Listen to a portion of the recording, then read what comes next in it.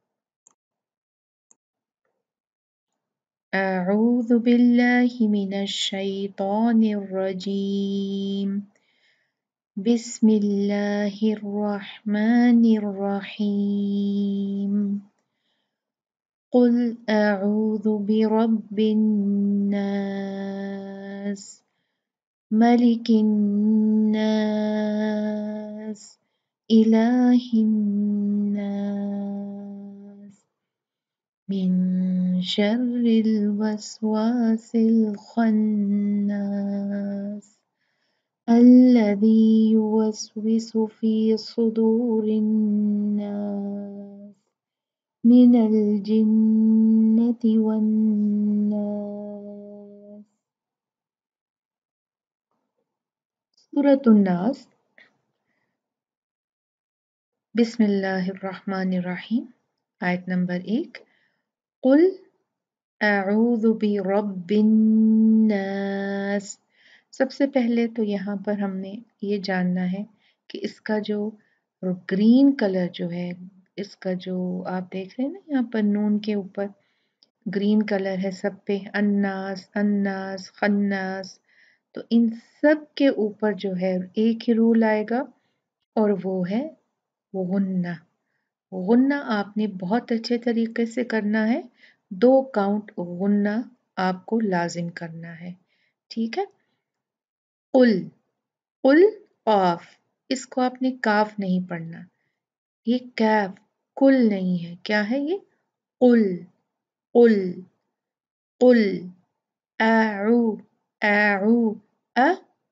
अ ऊ अब ये अ अ नहीं होगा। क्या होगा? आऊ हमजा और आइन की आवाज़ को अलग अलग आपने पढ़ना है। ये ना तो आऊ होगा, ना ये आऊ होगा ये क्या है? आऊ आऊ आऊ। अ एक काउंट है। ऊ दो। आऊ आऊ आऊदु दु ये दाल है। इसको इसको आपने दाल ही पढ़ना है। ज, ज, ज नहीं पढ़ना। ठीक है? जा नहीं पढ़ना। आऊदु आऊदु कैसे नहीं पढ़ना आपने? आऊजु जु नहीं, ज की आवाज़ ना आए। ओके? आऊदु बी रा के ऊपर जब ज़बर होता है और अरबिक में ज़बर को फतहा कहा जाता है तो जब फतहा होता है, ज़बर होता है तो रा को मोटा पुर पढ़ा जाता है। उसके लिए आपको ज़ुबान अपनी पूरी ऊपर उठानी पड़ती है और ये फिर अदा होता है। बिरबिन बिरबिन पीछे से अपनी ज़ुबान ऊपर उठाएँ। बिरबिन बिरबिन अब ये जो है, ये नून, इसके ऊपर आपने अच्छे से गुन्ना करना जल्दी पढ़ के आगे नहीं जाना है। बिरबिन आखिर में जो सीन है ये साकिन होगा। तो इसमें सीन की एक सिफत है हवा की। इसकी हवा इसकी जो हवा की सिफत है वो अच्छे से बाहर आनी चाहिए।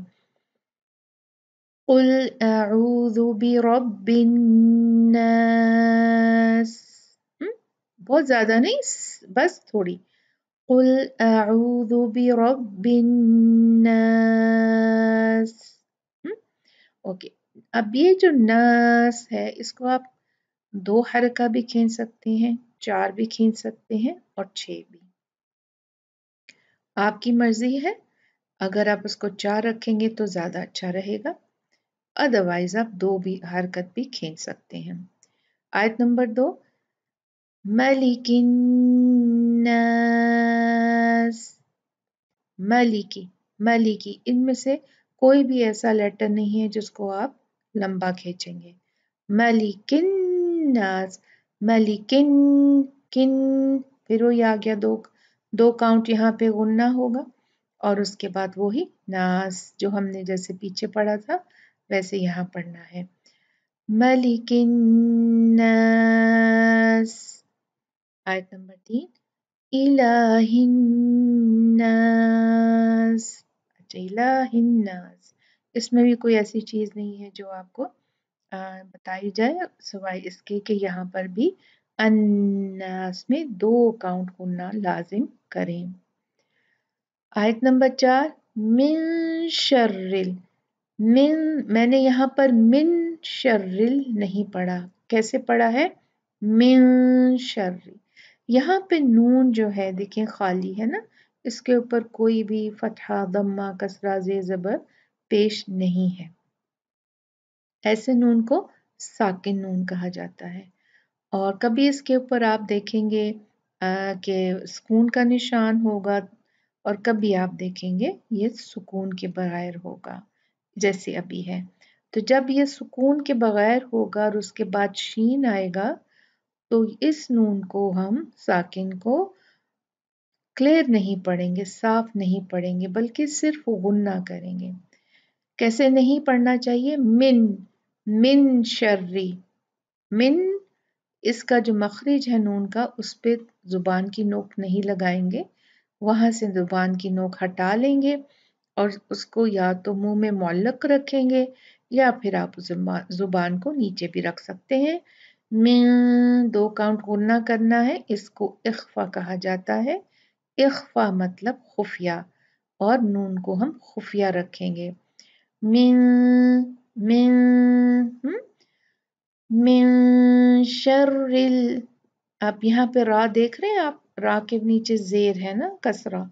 जब रा के नीचे कसरा या जेर हो तो वो रा बारीक पड़ी जाती है, पुर या मोटी नहीं पढ़ी जाती। यहाँ पर क्या पढ़ी गई थी? बे बिन मोटी क्योंकि इसके ऊपर क्या था? फतहा था। अब इसके नीचे क्या है?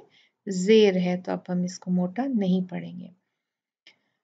मिन शर्रिल वसवासिल खन्नास अच्छा अब शर्रिल वसवासिल जो है इसकी एक क्वालिटी है इसकी एक सिफ्त है कि ये भारी लेटर है ठीक है इसको भारी पढ़ा जाता है इसलिए इसको ख खन्नास नहीं पढ़ेंगे ठीक है मिन शर्रिल वसवासिल खन्नास ख ख नहीं होगा। क्या होगा? ख ख।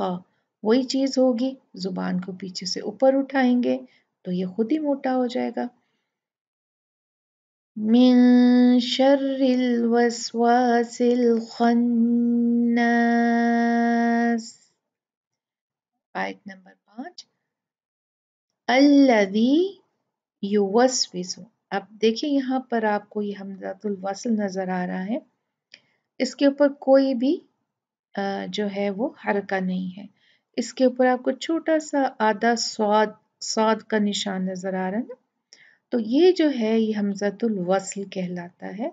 जब ये अल्फाजों के बीच में आता है तो इसको इग्नोर कर देते हैं, लेकिन जब ये शुरू में आता है और जब लाम के साथ आता है तो उसको हमेशा फतहा ज़बर के साथ पढ़ा जाता है, लाम के साथ हमेशा हमजतुल वसल कैसे पढ़ा जाएगा? फतहा के साथ में, ज़बर के साथ में। अल्लजी जाल है ये अल्लाह जी कोई ना पढ़े अल्लाह जी नहीं है, ये क्या है? अल्लाह जी जी जी नहीं है है। अल्लाजीसु जब आप वाव को अदा करें तो अपने होंठों को गोल कर लें, ठीक है? युवसविसु युवसविसु फ़ी सुदू ये क्या है? ये साद है स्वाद स्वाद है, ये नहीं है। ये ये सीन, ये अलायदा है, ये स्वाद ये अलायदा है, ठीक है? वस वीसो वस वीसो, ये सीन लाइट होता है। स्वाद काफ और खा के जैसे भारी लेटर है। इसको भारी पढ़ेंगे और मखरज वही है सीन का, लेकिन ज़ुबान पीछे से ऊपर उठाएँगे तो खुद ब खुद वो मोटा हो जाएगा। युवस वेसु है ना? युवस वेसुफी सु, स स स, सुदूरिन सुदूरिन। सुदूरिन हम्म? सुदूरिन यहाँ पे भी अच्छे से दो काउंट गुनना करेंगे। मिनल जिन्नति वन्नास मिनल जिन्नति दो काउंट गुनना होगा यहाँ पर। वन्नास। वही जैसे हमने पीछे किया था। ग्रीन कलर में सब जगह पे जो है वो गुनना होगा, दो काउंट तो ये था हमारा आज का लेसन और उम्मीद है कि आप लोगों को जो है समझ आ गई होगी। अगर आपको समझ नहीं आई, अगर आपने कुछ और क्वेश्चन मुझसे पूछना है तो आप अपने ग्रुप में पूछ सकते हैं और जो लोग कोर्स में नहीं हैं, वो अपने क्वेश्चन को यहाँ पर सवाल को नीचे टाइप कर सकते हैं और इन ताला बेदनिल्ला मैं जवाब दूँगी आपको। पहली फ़ुर्सत में जब भी मुझे फ़ुर्सत मिली। जजाकमल खैर। असलकम वरहमतुल्लाहि वबरकातुहू